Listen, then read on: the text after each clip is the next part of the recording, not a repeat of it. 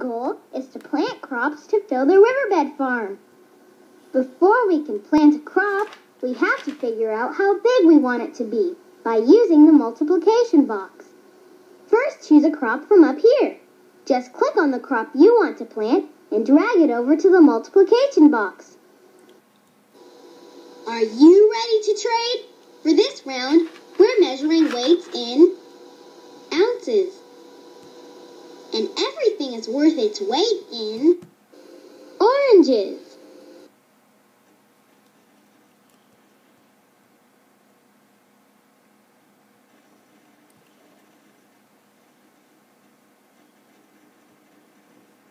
I don't really believe that Santa brings you presents, do ya?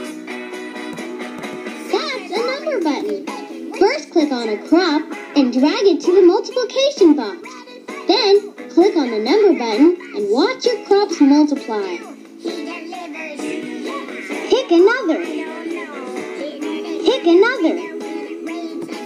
Pick another. Pick another. Try again.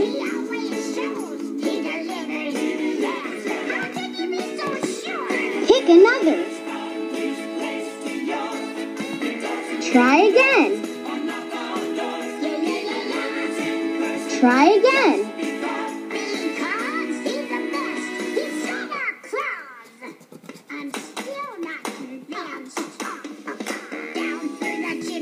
To start, drag one of the crops to the multiplication box.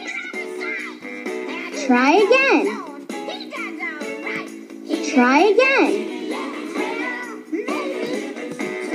Pick another. Pick another. Pick another. Pick another. Pick another. Pick another.